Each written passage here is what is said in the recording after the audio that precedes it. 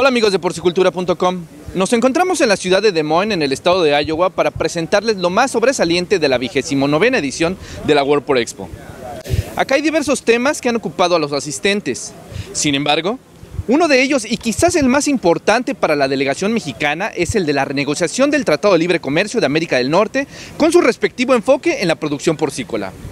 Acompáñenos para conocer cuáles fueron las opiniones generalizadas respecto a este asunto. Además, claro, de una mirada completa a lo que fue la edición de este año. Y que ahora sí, en términos definitivos, logremos un buen tratado.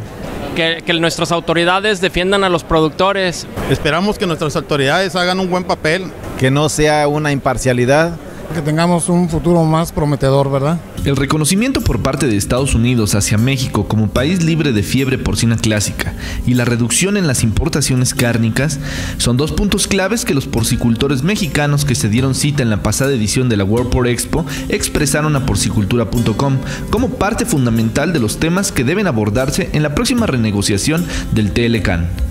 Ojalá y también se logre la acreditación de todos los estados de la República Mexicana para poder exportar a Estados Unidos. No, sabemos que México ya es libre de fiebre porcina clásica, eso ya lo saben, pero yo creo que a veces se siguen poniendo trabas. Aunque sea un poquito controlar la entrada a México que sea regulada.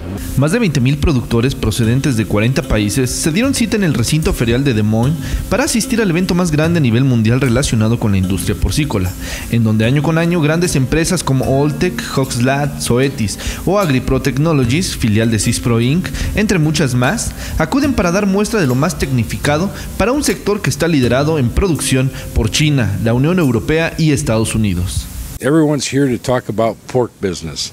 Whether that is new technology for raising hogs or if that's uh, potentially uh, interaction with packers and processors. Este año la World Pork Expo reunió en un piso comercial de 320 mil pies cuadrados a más de 450 stands de diferentes compañías con presencia a nivel mundial.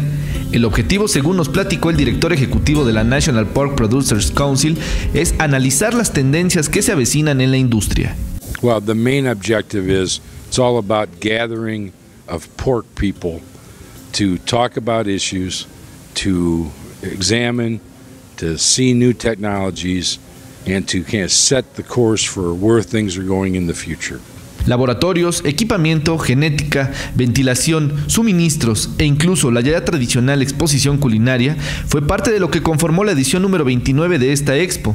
Sin embargo, en cuanto al tema de interés para los asistentes mexicanos, Neil Dirks destacó que la relación que guardan con los porcicultores es de las más longevas y fructíferas. So I think it's one of the longest it's one of the longest and oldest relationships our organization has had. Is with the Mexican industry and the Canadian industry, and it's important because it's, you know, we're here in North America, and we have a lot of common issues and common needs and desires. Y en relación específica con la próxima renegociación del Tratado de Libre Comercio de América del Norte, el CEO de la organización fue claro al mencionarnos que para la industria porcícola estadounidense, la cual produjo en 2016 11.334.000 toneladas, el Telecan es una de las mejores cosas que les ha pasado y que en definitiva quieren continuar con ese intercambio comercial. Well, I, I think NAFTA is good. And Mexico itself has 59 free trade agreements. there are producers in Mexico that are that are planning to increase the size of their herds to produce more more hogs, and we think that's good. Uh, I'm Neil Dirks, the CEO, Chief Executive Officer of the National Pork Producers Council. Mientras tanto, de este lado del continente, Carlos Ramírez, reconocido productor en el país, señaló que lo que hace falta para que la industria mexicana, que el año pasado produjo poco más de 1.300.000 toneladas de carne de cerdo, crezca, es una cadena de proveeduría sólida. Pero, ¿a qué se refiere con esto?